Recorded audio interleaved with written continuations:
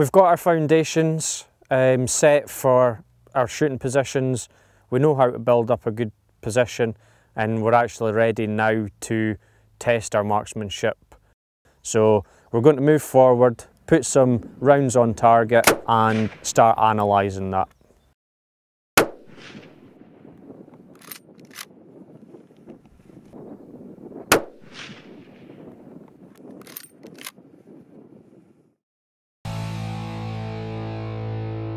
So the first group that we're looking at here, the rounds are in a string vertically.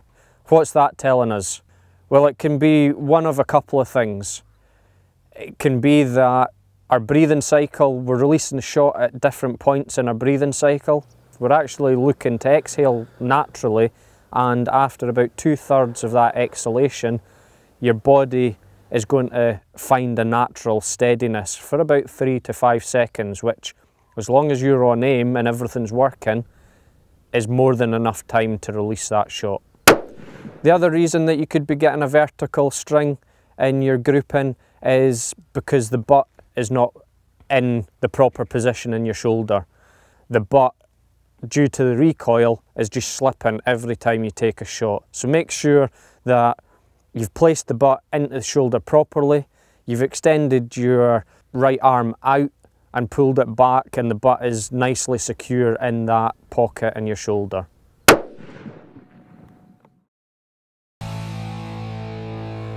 So we're now looking at a lateral string. So you've got your bullets are spread out from left to right along the horizon. What's the reason for this? Well, we're shooting at 100 metres, you can take out any wind equation. It's more likely your natural alignment is out of sync. Get yourself on aim. The crosshairs are centred on your point of aim where you want to impact and just close your eye for a couple of seconds. Then when you open your eyes, the crosshair should still be sat exactly where you left it on your aiming marker. If it's moved, deviated left or right at all, all you need to do is just shift your hips ever so slightly in the opposite direction to move your crosshairs across the page. Again, settle on, the, um, on your point of aim, close your eye and repeat the process and once the crosshairs haven't moved, you know that your natural alignment is set. We've got four rounds in a nice tight group and we've got one off on its own. That is what we call a flyer. What's happened here it's probably been something as simple as lack of concentration. You've actually seen those holes starting to appear on the paper from your shooting position back there and you've probably got a little bit chuffed with yourself, relaxed a little bit too much and not concentrated on the last shot as much as you should have and that's caused this flyer. So you really do need to keep that consistency concentrate on every single shot as a single shot on its own and once the shot is gone don't try and look for it on the paper and start analysing the group at that point. Shoot the group and then look at analysing it thereafter.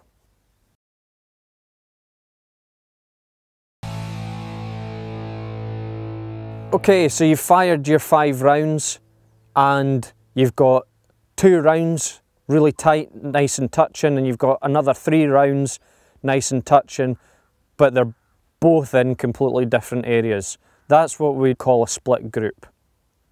So what's happened here is more than likely you fired the first two rounds, your position hasn't felt very comfortable or something's happened and you've broke your position ever so slightly or almost completely and then you settled back into the position and fired a further three rounds. So what do we do to combat this? We make sure that our shooting position is nice and steady, we're well aligned, everything is in place, and once we do start shooting, the position doesn't move. It's really as simple as that.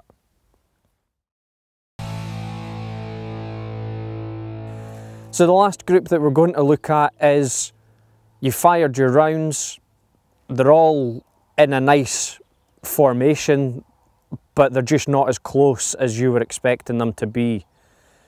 Really, that's down to your concentration and securing your shooting position that little bit more. So think about what you're doing, really try to focus on every part, all four marksmanship principles, all seven elements, and then your three factors and make sure everything's as good as it can be. Really concentrate on that aiming point and putting your crosshairs exactly on the same place each time and hopefully that will shrink your group. The other reason that you might be getting slightly larger groups than you're expecting could be down to ammunition. And a good way to figure this out is if it's a new rifle, new rifle setup, have maybe four different brands of ammunition there, possibly even different weights of bullets to see what goes through your rifle better. Because a lot of rifles will fire one or two brands of ammunition perfectly well, and then one brand of ammunition just really doesn't work for whatever reason. So that could be the other reason you're getting larger groups than you expected.